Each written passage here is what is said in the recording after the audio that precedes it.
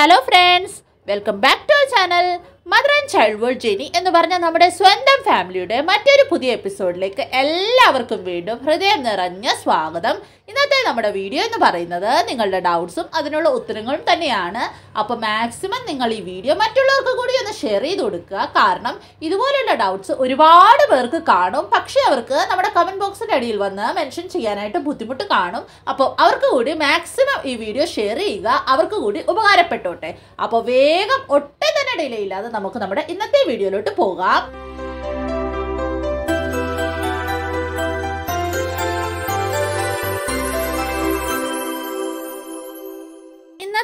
ആദ്യത്തെ ചോദ്യമാണ്. എനിക്ക് എംബ്രിയോ ട്രാൻസ്ഫർ ചെയ്തിട്ട് ഇലവൻ ഡേയ്സ് ആയി. നല്ല ബാക്ക് പെയിനും അടിവയറ്റിലും പെയിനുണ്ട് കാൽ കഴുപ്പുണ്ട്. നെഗറ്റീവ് ആയതുകൊണ്ടാണോ? അപ്പോൾ എംബ്രിയോ ട്രാൻസ്ഫർ കഴിഞ്ഞിട്ട് ബാക്ക് പെയിൻ അതുപോലെ തന്നെ അബ്ഡോമിനൽ പെയിൻ ലെഗ് പെയിൻ ഒക്കെ നോർമലാണ് ഇതിന്റെ കാരണം എന്താണെന്ന് പറഞ്ഞാൽ നമ്മൾ എടുക്കുന്ന ഹോർമോണൽ മെഡിക്കേഷൻസ് കാരണവും അതുമാത്രമല്ല നമ്മുടെ ഓവേരിയൻ സിമുലേഷൻ കാരണവും എൻഡോമെട്രിയൽ പ്രിപ്പറേഷൻ കാരണവുമാണ് ഇങ്ങനെ നമുക്ക് സിംറ്റംസ് ഉണ്ടാകുന്നത്.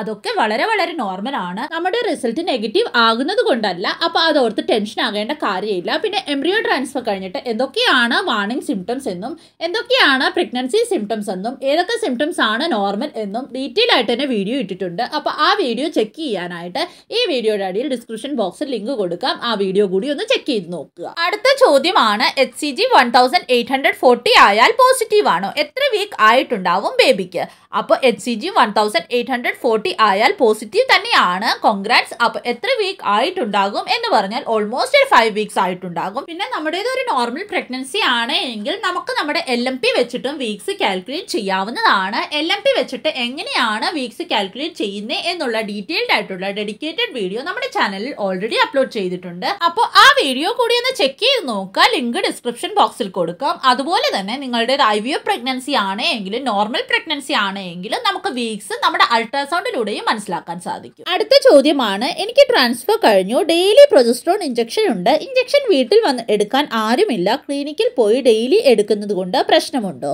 അപ്പോൾ ട്രാൻസ്ഫർ കഴിഞ്ഞ് ഡെയിലി പ്രൊജസ്ട്രോൺ ഇഞ്ചക്ഷൻ വീട്ടിൽ വന്ന് എടുക്കാൻ ആരുമില്ലാത്തത് കൊണ്ട് തന്നെ ക്ലിനിക്കിൽ പോയി ഡെയിലി എടുക്കുന്നത് കൊണ്ട് ഒരു പ്രോബ്ലവും ഇല്ല.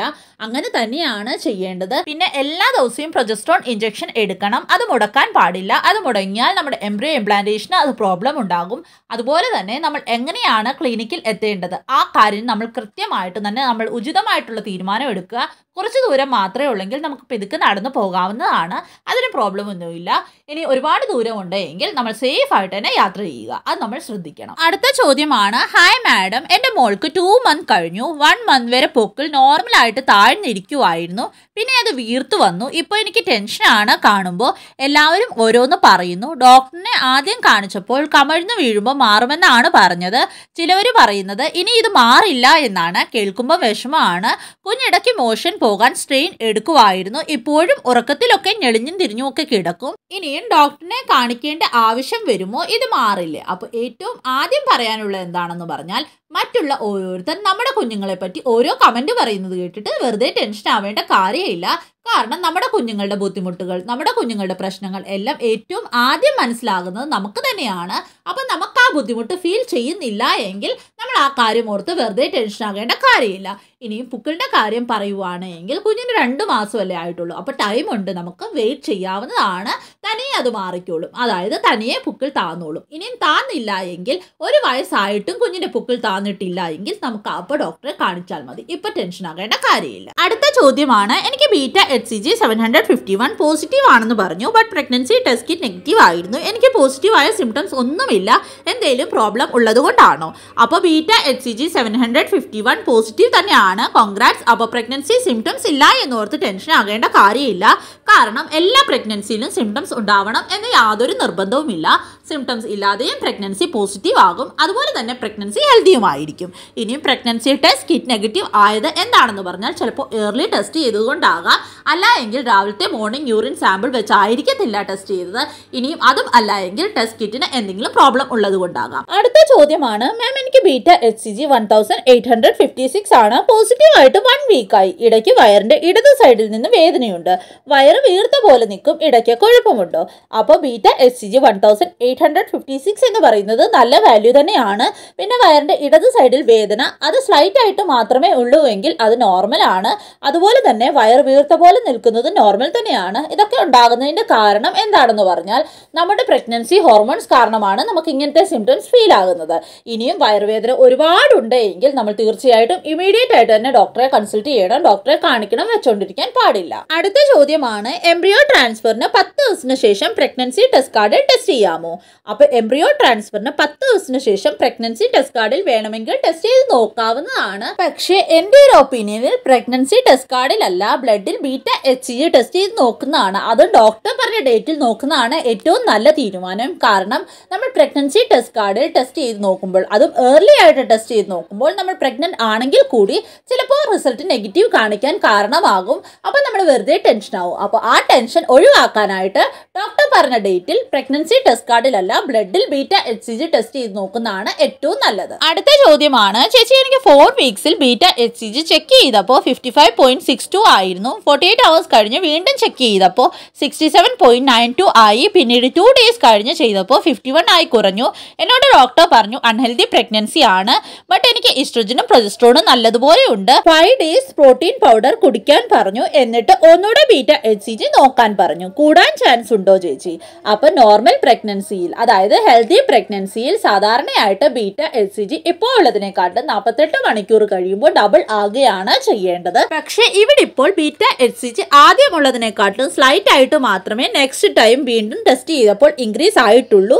പിന്നെ അത് നമ്മൾ നോക്കിയപ്പോൾ ബീറ്റ എൽ സി ജി കുറഞ്ഞു പോവുകയാണ് ചെയ്തിരിക്കുന്നത്. അതായത് പ്രഗ്നൻസി ചിലപ്പോൾ അൺഹെൽത്തി ആകാൻ ചാൻസ് ഉണ്ട്. പക്ഷെ നമുക്ക് അപ്പോഴും കൺഫേം ആയിട്ട് പറയാൻ സാധിക്കുകയില്ല. ഒരു ഫൈവ് ഡേയ്സ് കൂടെ കഴിഞ്ഞിട്ട് ബീറ്റ എൽ സി ജി ഒന്നുകൂടെ റിപ്പീറ്റ് ചെയ്ത് നോക്കണം. അഥവാ ബീറ്റ എച്ച് ജി കൂടി കഴിഞ്ഞാൽ നമ്മുടേത് ഒരു ഹെൽത്തി പ്രഗ്നൻസി ആണ് നമുക്ക് കൺഫേം ചെയ്യാവുന്നതാണ്. പക്ഷേ ഇത് കുറഞ്ഞു പോയി കഴിഞ്ഞാൽ ഇനിയും നമുക്ക് അതാണ് ഹെൽത്തി പ്രഗ്നൻസി ആണെന്ന് തന്നെ കൺഫേം ചെയ്യേണ്ടി വരും. നെക്സ്റ്റ് ക്വസ്റ്റ്യൻ ആണ് on day tenth of frozen embryo transfer the beta H C G result is forty six is it good അപ്പോൾ എംബ്രിയോ ട്രാൻസ്ഫറിന് പത്ത് ദിവസത്തിന് ശേഷം beta H C G value forty six എന്ന് പറയുന്നത് നല്ല വാല്യൂ ആണ് പോസിറ്റീവ് ആണ്. കോൺഗ്രാറ്റ്സ് അപ്പോൾ ഇനിയും ഡോക്ടർ പറഞ്ഞ ഡേറ്റിൽ വീണ്ടും beta H C G test repeat ചെയ്ത് നോക്കുക. വാല്യൂ ഡബിൾ ആകുന്നുണ്ട് എങ്കിൽ നമ്മുടേത് ഒരു ഹെൽത്തി പ്രഗ്നൻസി ആണെന്ന് നമുക്ക് ഉറപ്പിക്കാൻ സാധിക്കും. അതിനുശേഷം ഡോക്ടർ സോണോഗ്രഫിക്കായിട്ട് ഡേറ്റ് തരും. ആ ഡേറ്റിൽ പോയിട്ട് സോണോഗ്രഫി ചെയ്ത് നോക്കാവുന്നതാണ്. അപ്പം നമുക്ക് ബാക്കി ഡീറ്റെയിൽസ് എല്ലാം കറക്റ്റായിട്ട് തന്നെ അറിയാൻ സാധിക്കും. പിന്നെ കറക്റ്റായിട്ട് നമ്മുടെ എല്ലാ മെഡിക്കേഷൻസും ഇഞ്ചെക്ഷൻസ് ഉണ്ടെങ്കിൽ അതും എടുക്കാൻ പ്രത്യേകം ശ്രദ്ധിക്കണം. കാരണം നമ്മുടെ മെഡിക്കേഷൻസിലാണ് നമ്മുടെ പ്രഗ്നൻസി സപ്പോർട്ട് ആയിരിക്കുന്നത്. അപ്പോൾ അത് ഒരിക്കലും മിസ് ചെയ്യാൻ പാടില്ല. അടുത്ത ചോദ്യത്തിലോട്ട് പോകുന്നതിന് മുമ്പായിട്ട് ഒരു കാര്യം ഒന്ന് ഓർമ്മിപ്പിച്ചോട്ടെ.